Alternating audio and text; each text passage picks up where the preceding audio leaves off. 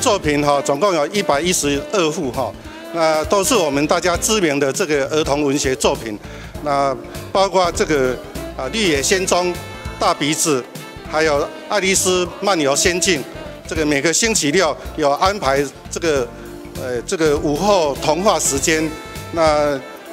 还有这个小朋友的说故事的一个比赛。欢庆儿童节、儿童探探险周的这样的一个非常精彩、刺激的一个探险活动，那也欢迎大家啊来来参加这样的一个活动。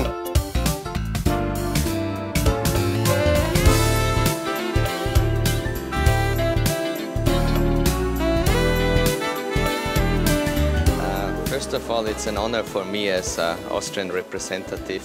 to present here. 很高兴来这边了，因为那位插画家非常有名，全世界性的，而且跟他是同一个故乡啊维也纳，所以说他很高兴。虽然那画家不能来，不过他很高兴代表他来来替大家介绍。说这位呃女插画家哈是全世界全全世界性的知名度哈，他非常年轻的时候就成名，他得过二十几项大奖，然后出了七十本几本书。呃，他的画作非常细腻，可以说涵盖所有呃西方的插画，所以童话故事里面，不管安徒生，不管是其他的呃有名的呃童话家，他用这个插画来表达他，啊是这样。呃，他呃不是很喜欢呃到处旅行，所以他不太喜欢旅行，他喜欢把时间花在他的创作上、绘画上。